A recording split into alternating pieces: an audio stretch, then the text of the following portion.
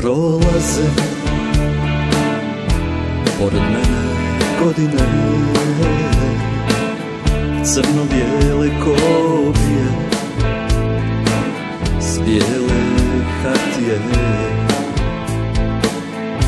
More suza biseri Malo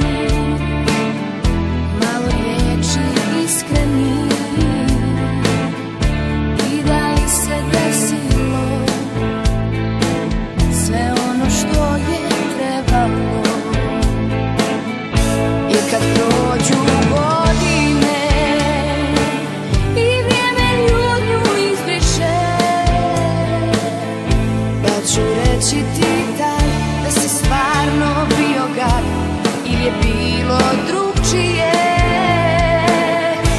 Kad prođu godine I vrijeme bore donese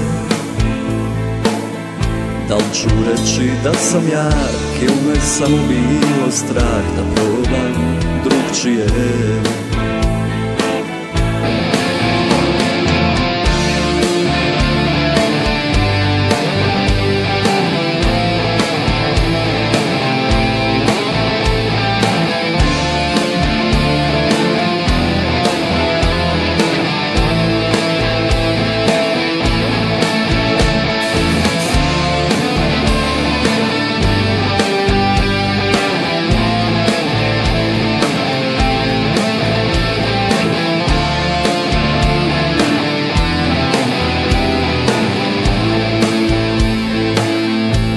Ako sam oprostio. Da li sam prebolio? Da li je išta ostalo? Ili je davno nestalo? I kad jednom progleda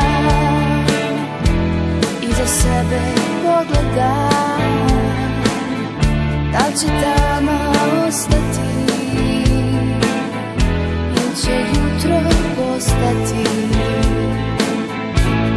prođu godine I vrijeme ljutnju izbriše.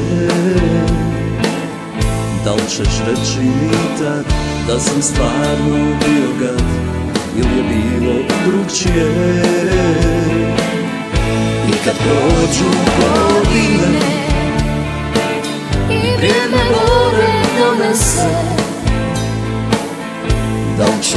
reći da si ja Ili me samo bilo strah Da probaš. Drugčije